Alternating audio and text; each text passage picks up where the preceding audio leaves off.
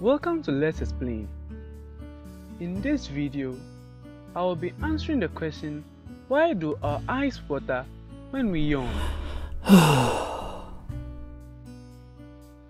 the composition of our tears and the muscles of our face holds the answer to this phenomenon.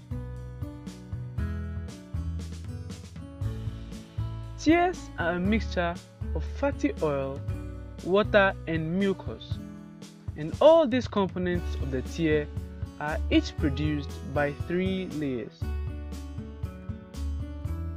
The fatty oils are produced by meibomian glands, forming an oily layer. The oil prevents the tears from evaporating too quickly and also makes our eyes look glossy.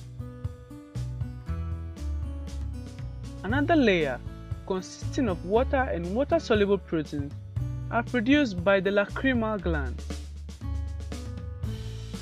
Then there's a third mucus-based layer, which together with the water-based layer keeps the eye moist.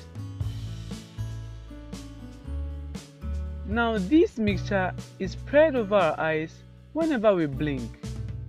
However, when there is overproduction of the watery layer, these mixtures leak out as tears and this mostly happens when we cry or yawn. When we yawn, the muscles of the face surrounding the eyes pull tight.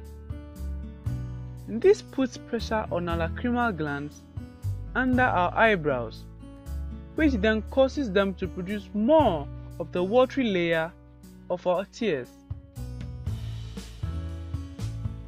Another factor that plays a role in bringing out tears when we yawn so hardly is that our tears normally drain out of little darts at the inner corners of our eyes.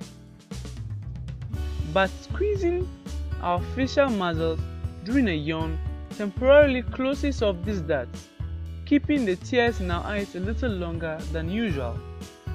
All these extra tears have no place to go so you tear up, then when you open your eyes, the extra tears find their way to the drains with the next couple of blinks.